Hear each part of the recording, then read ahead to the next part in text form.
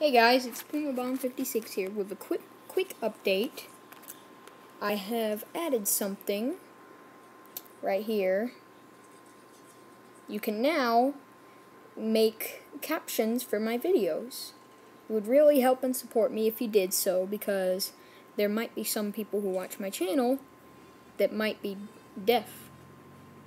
So if you'd be kind, if you have the time to though, please if you can, make captions for some of my videos. Sometimes I don't have the time to make them. Anyway, that's all.